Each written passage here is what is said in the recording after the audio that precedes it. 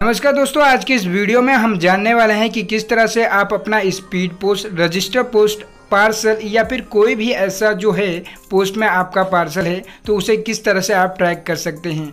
तो वीडियो काफ़ी इंटरेस्टिंग काफ़ी नॉलेजेबल है। आपसे रिक्वेस्ट यही है कि वीडियो आप एंड तक ज़रूर देखें, जिससे कि आप कोई भी इंपॉर्टेंट पॉइंट मिस ना करें। तो अगर आप पोस्ट ऑफ़िस में कभी भी कोई भी चीज़ बुक करते हैं तो अगर आपने स्पीड पोस्ट किया है तो आपको स्पीड पोस्ट नंबर अगर आपने रजिस्टर किया है तो आपको रजिस्टर पोस्ट नंबर और अगर आपने कोई पार्सल किया है तो आपका पार्सल यानी कि ऑल इन वन आपको एक नंबर दिया जाता है। जिसकी मदद से आप अपना लेटर, यानी कि कंसाइनमेंट या फिर जो भी आपका वस्तु रहेगा, उसे आप ट्रैक कर सकते हैं कि वह कहाँ पहुँचा है, दिए गए एड्रेस पे पहुँचा है, नहीं पहुँचा है, उसकी पूरी जानकारी आप ले सकते हैं। चलिए शुरू करते हैं। तो सबसे पहले दोस्तों, आपको क्रोम खोल लेना है और यहाँ पे क्रोम खोलने के बाद आपको सर्च में सर्च करना है स्पीड पोस्ट ट्रैकिंग जैसे आप स्पीड पोस्ट ट्रैकिंग सर्च कर लेते हैं।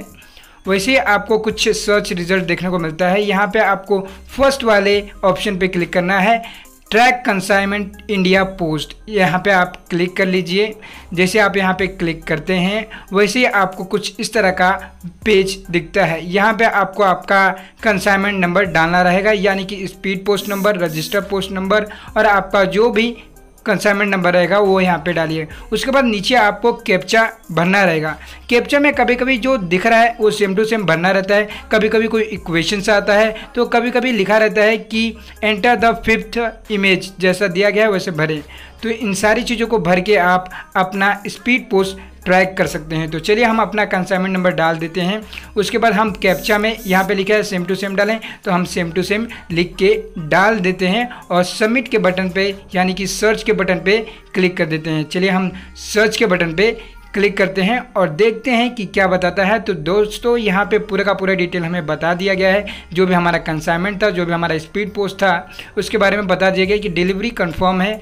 और यहाँ पे कहाँ से ये बुक हुआ था और कहाँ पे इसका डिलीवरी लोकेशन था, ये पूरी डिटेल्स यहाँ पे बताई जाती है। आशा करता हूँ इस वीडियो से आपको कुछ वैल्यूएबल इन्फॉर्मेशन मिली होगी पोस्ट ऑफ़िस से रिलेटेड तो वीडियो को ज़रूर से ज़रूर लाइक कीजिएगा। अगर आप चैनल पर नए हैं तो चैनल को सब्सक्राइब कर दीजिए, क्योंकि आपको यहाँ पर रोज़ाना ऐसे ही पोस्ट ऑफ़िस से रिलेटेड इन्फॉर्मेटिव वीडियो देखने को मिल जाती हैं। अगर आ, और अगर आप पोस्ट ऑफ़िस के ऑनलाइन बैंकिंग सिस्टम के बारे में जानना चाहते हैं तो चैनल पे जाके वीडियोस दे सकते हैं और वीडियो स्क्रीन पे दिखाए गए ये दोनों वीडियो देख ही सकते हैं।